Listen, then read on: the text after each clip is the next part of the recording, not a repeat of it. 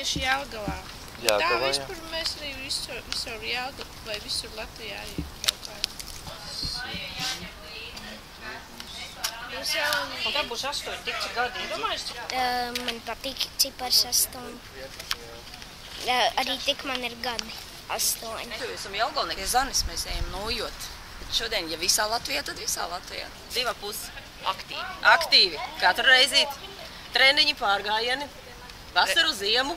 Visu laiku. Kādreiz bija divreiz nedēļā, tagad reiz. Un vēl lielie garie pārgājieni. Es nekad nezinātu, kur, kur, cik te ir skaisti, ja zana nebūtu izvadājusi. Visas takas. Ūdens un spēka batoniņi. Lai spēks pietiek.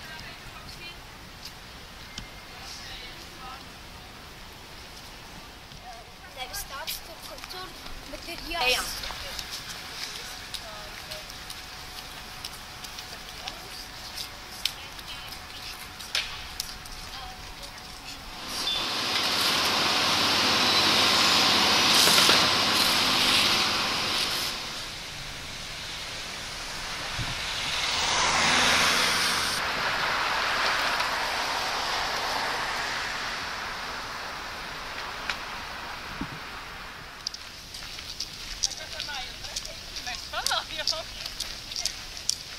Tātad mēs no Jelgavas nācām pa Rūpniecības ielu, tur bija remontdarbi, pēc tam arī uz Tervets ielas bija remontdarbi, mēs, mēs visam cauri turējām nācām, tagad ar balošu kapiem. Tad mēs atnācām, te ir piknika vieta, garajos kalnos, un tad mums te tagad ir tā, mēs te dzersim tēju, te cepsim desiņas pie ugunskura, mums pusceļā parasti ir atpūtas pauzītes, bet šoreiz ar aktivitātēm mežā, ko mums piedāvāja biedrība Remos.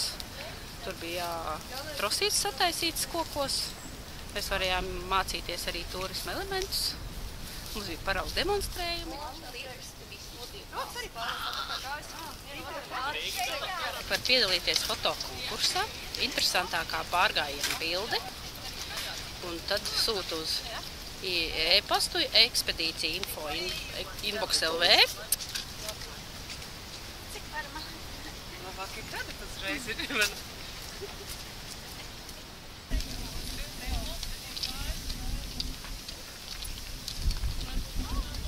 Tātad Eiropas sporta nedēļas nobeigumā Jelgavniekiem ir piedāvājums 30. septembrī krosiņš Lielupas malā. Un tad tiekamies tur. Nu, 12,9, turpat 13 sanāk. Ļoti labs. Ļoti labs pārgājiens.